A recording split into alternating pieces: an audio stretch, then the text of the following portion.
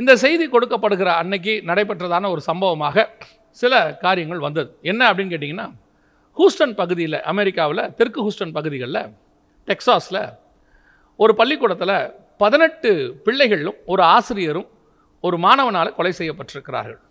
அவனுக்கு வயசு பதினெட்டு தான். ரெண்டு துப்பாக்கிகளை கொண்டு வந்து அவர்களை கொண்டு இருக்கிறான். அதில் பதினெட்டு பிள்ளைகள் இறந்துருக்கிறாங்க. அதில் ஒரு ஆசிரியரும் அதில் மறித்து போயிருக்கிறார். இதற்கு என்ன காரணம்? இப்போ அவனையும் அவங்க கொண்டுட்டாங்க போலீஸார் அவனோட நடந்த சண்டையில் அவன் மறித்து போனான். இதற்கு என்ன காரணம்?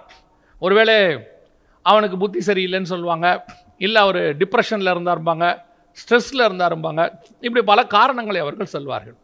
ஆனால் இது வந்து இன்னைக்கு நேற்று அல்லது இப்போ நேற்று நடக்கிற சம்பவங்கள் அல்ல. ஜான் ஆஃப் கெனடி காலத்திலிருந்து நடக்கிற சம்பவம். எப்பொழுது முதல் முதலாக பள்ளிக்கூடங்களில் வேதாகமம் தடை செய்யப்பட்டது?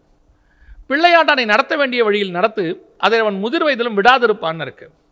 நல்ல நற்கதைகள் அல்லது நீதி கதைகள் அல்லது கடவுள் காரியங்கள் எல்லாத்தையும் அவர்கள் சொல்லிக் கொடுத்து பிள்ளைகளை சிறு வயது முதல் கொண்டே தேவனுக்குள்ளாயும் வசனத்துக்குள்ளாயும் வளர்த்தாங்க.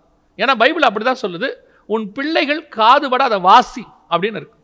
ஸோ இதையெல்லாம் கேட்கும்போது பிள்ளைகள் விசுவாசத்திலும் பரிசுத்தத்திலும் கீழ்ப்படிதலும் வளருவார்கள். அப்படி இருக்கும்போது ஜான் ஆஃப் கெனடி காலத்தில் புத் வேதாகமம் பள்ளிக்கூடங்களிலிருந்து தடை செய்யப்பட்டது. இதுதான் ஆரம்பம். அதற்கு பிறகு கொஞ்சம் கொஞ்சம் கொஞ்சம் கொஞ்சமாக தேவனுக்கும் வசனத்திற்கும் அந்த தேசத்திலேயே இடம் இல்லாமல் போய்விட்டது. கேட்டால் அறிவியல் வளர்ச்சி. நாங்கள் ரொம்ப டெக்னாலஜியில் வளர்ந்துட்டோம். தர் இஸ் நோ காட் அப்படிங்கிற அளவுக்கு போயிட்டு கடைசியில் இன்றைக்கி எந்த லெவலில் நிற்கிது அப்படின்னு கேட்டிங்கன்னா எல்லார் கைகளிலும் துப்பாக்கி இருக்கிற நிலைமைக்கு போயிடுச்சு சில ஆண்டுகளுக்கு முன்பாக என்னுடைய ஞாபகம் சரியாக இருக்குமானால் ரெண்டாயிரத்தி பதினைந்தில் இதே டெக்சாஸ் பகுதியில் சில பிரச்சனைகள் ஏற்பட்டது. அப்பொழுது ஒபாமா சொன்னதான ஒரு மிக முக்கியமான ஒரு காரியம். அப்பொழுது அவர் ஜனாதிபதியாக இருந்தார். அப்பொழுது அவர் சொல்லிக் கொடுத்தார் நீங்கள் பிள்ளைகள் இன்னொரு சூழ்நிலை வரும்போது துப்பாக்கிகளை கையாள கற்றுக்கொள்ள வேண்டும். ஆபத்து வரும்போது எதிர்நோக்குவதற்கு நீங்களும் துப்பாக்கி வைத்துக் கொள்ள வேண்டும் என்கிற ஒரு ஸ்டேட்மெண்ட்டை கொடுத்தார்.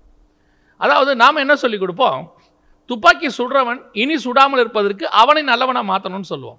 ஆனால் அன்னைக்கு அவர் சொன்னது என்னென்னா இன்னொரு துப்பாக்கி நம்ம கையில் எடுத்துக்கிட்டோம்னா அவன் நம்மளை சுட மாட்டான் அப்படின்னு சொல்லி அவர் ஒரு வித்தியாசமான முறையை சொல்லிக் கொடுத்தார். இதுதான் அவர்கள் பிள்ளைகளுக்கு சொல்லிக் கொடுக்குற முறை. கவனித்துக் கொள்ளுங்கள் பிள்ளைகளை கண்டிக்க வேண்டிய இடத்தில் கண்டிக்கணும். பிள்ளைகளிடத்தில் மதியினம் இருக்கும். பிறம்பு தான் அதை சரி பண்ணும் என்று வேதம் சொல்லுகிறது.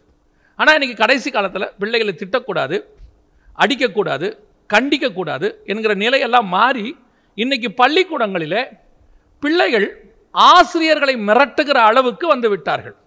ஆசிரியர்களை மிரட்டி அவர்களை அவர்கள் பாடம் நடத்த விடாமல் தடுக்கக்கூடிய நிலைமைக்கு அவர்கள் போய்விட்டார்கள் என்று சொன்னால் இதே நிலை நீடிக்குமானால் இப்படி ஒரு நிலை இந்தியாவுக்குள் வருவதற்கு ரொம்ப காலம் ஆகாது. பிள்ளைகளை தயவு செய்து கண்டித்து வளருங்கள். சொல்ல வேண்டிய காரியங்களை சொல்லிக் கொடுங்கள். Be a friend for them அவர்களுக்கு நண்பர்களாக இருங்கள். டிக்டேட்டராக இருக்காதீங்க. அதே வேளையில் நல்ல விஷயங்களை சொல்லிக் கொடுங்க. இன்னைக்கு டெக்ஸாஸில் இவ்வளோ பெரிய சோக சம்பவம் நடந்திருக்குது. இது ஏதோ ஒரு நாளில் இதுக்கு முன்னாடி பல சம்பவங்கள் டெக்ஸாஸில் இப்படி நடந்திருக்கு. டெக்ஸாஸில் மட்டும் இல்லை அமெரிக்கா முழுக்க ஏன் பல மேற்கத்திய நாடுகளில் நடக்குது.